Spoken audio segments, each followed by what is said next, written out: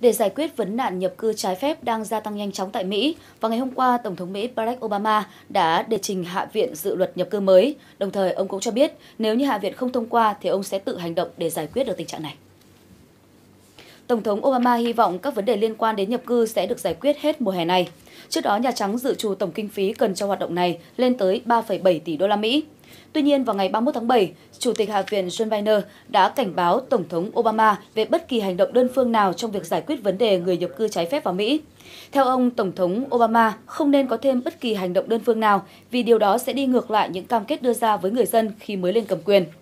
Cùng ngày 31 tháng 7, Hạ viện đã bác bỏ dự luật cung cấp 659 triệu đô la Mỹ tiền cứu trợ khẩn cấp trong số 3,7 tỷ đô la Mỹ liên quan đến làn sóng trẻ em từ các nước Trung Mỹ đang ồ ạt nhập cư vào Mỹ.